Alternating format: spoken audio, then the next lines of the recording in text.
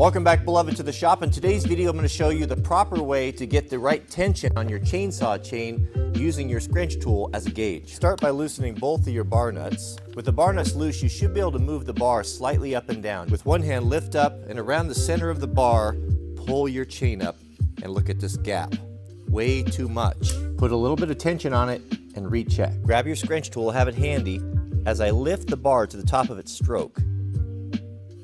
Right when it comes to the top, check the gap. It should be about the thickness of your scrench tool. When you get it right, you should have a nice crisp snapback. Running your chain too loose, it's likely to fall off. That can damage you and your saw. Running it too tight will wear out drive gears, tips, bars, etc. And that's the proper way to adjust your chainsaw tension.